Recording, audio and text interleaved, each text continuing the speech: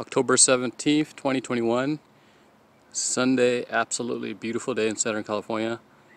Perfect day, 71 degrees, perfect day to be planting an avocado. So that's what we're going to be doing today. Here's the hole that I already dug. I've already filled it with water and it's already drained and we're ready to go.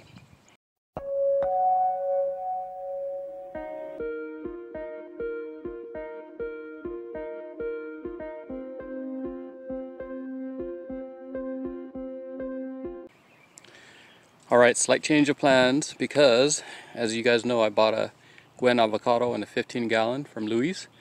And in my excitement, I started digging this hole thinking that I'm going to plant, as you know, here's my Hass avocado right there, Hass. There's my Kona. And I dug this hole right here, about 10 feet apart from the Kona and the Hass. And my plan was to put a Gwen here, but after reconsidering, I think I'm going to put this thing, which is my Ettinger, into this spot because that was my original original plan. Um, the Ettinger is really a B-type that's supposed to be a really good pollinator for the Hass. So I decided to stick this here from the beginning. I changed the plans, but changing it back. So sticking with the original plan. So, as you can see, here it is. I'll try to get in here so you can see.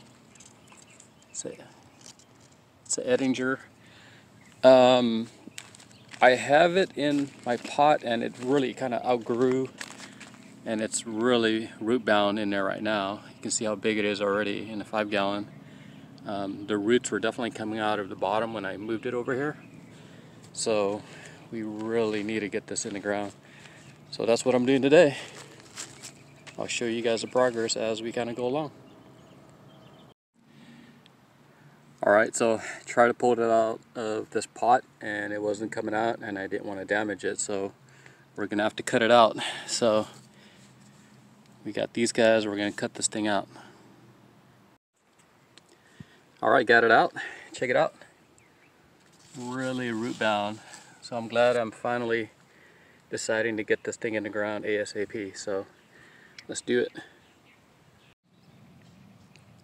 Alright, as you can see guys, I got it actually sticking up higher than grade. So here's kind of what it looks like. The root ball is sticking up maybe five inches or so. Alright, so the root ball is in the ground. This is like the native soil. I'm going to mix in some of this stuff. Palm, cactus, and citrus mix. So we're going to mix it with the, the native soil.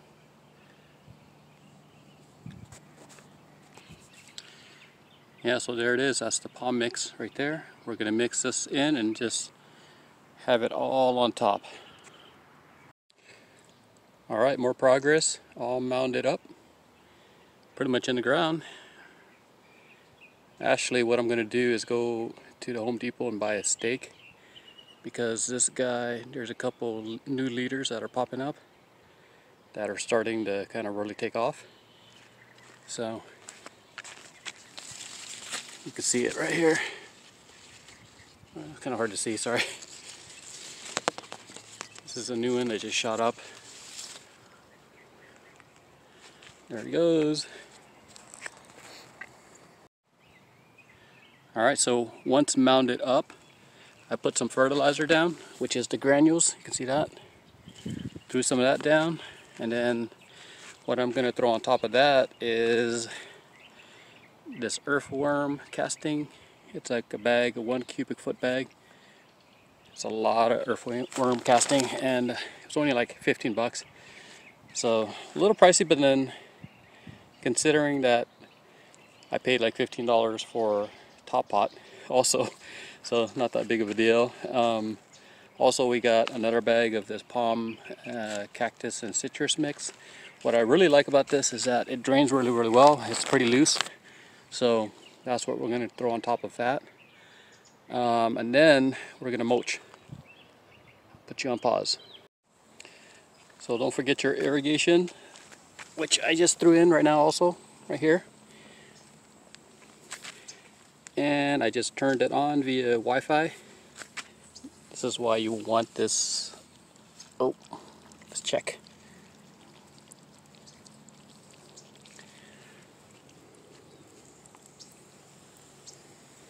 Okay, there it goes. Now you can adjust them.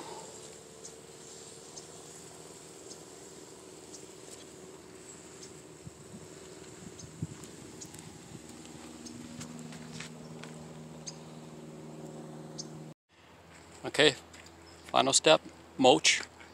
A lot of mulch. And we're done. So today I'm just gonna put a soaker hose on this and just really deep water it in to give you, or to give it like that extra water to kind of keep it going. And uh, my plan is to eventually whitewash all of these branches but not today because the temperatures aren't that hot and the sun isn't really that hot. So that's kind of where we're at. All right, got the soaker hose going. Soaker hose is running right now on the lowest setting. So I had to rip it out of this five gallon. Unfortunately, I like to reuse these for other things, but I didn't want to damage our avocado by trying to rip it out. So it was better to just cut it out. So Ettinger avocado, $39.99 is how much I paid for it. Even though it says $39.99, I didn't pay $39.99. I got the tree for free.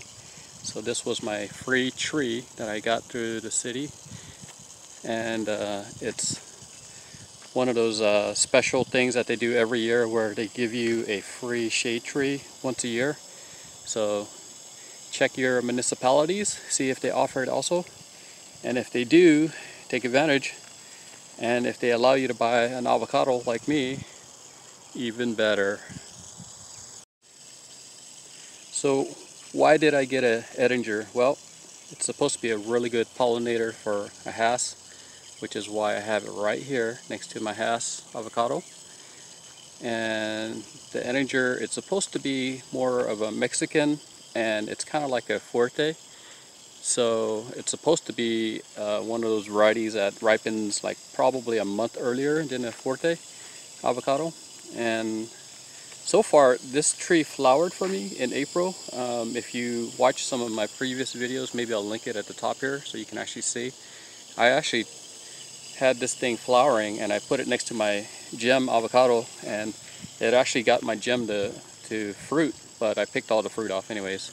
So this tree originated in Israel, um, brought to the U.S. in 1954. Um, the fruit is green when ripe. Um, it also has a really creamy flesh from what I've heard. I haven't tried a fruit yet, so excited to finally get this in the ground and actually try some of the fruit eventually. Um, now,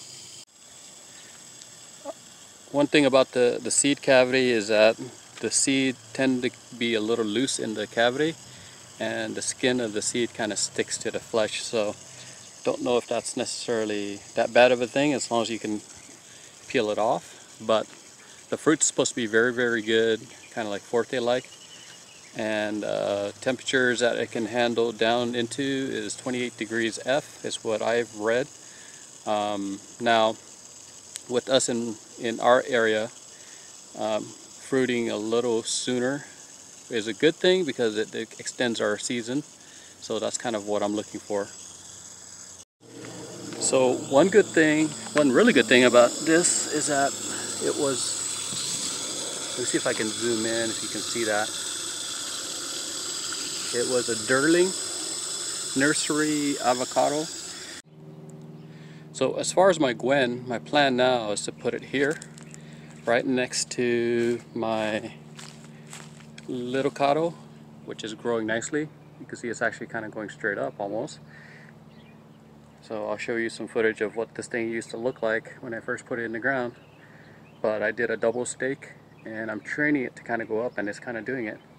So since this is going to be a little tree, I decided to put my Gwen here instead and the only problem is we got this ash tree which I've slowly started digging out of the ground and it's going to be a long process. So considering the, the Gwen is already in a 15 gallon I'm just going to leave it in there and continue to work on trying to get this ash tree out.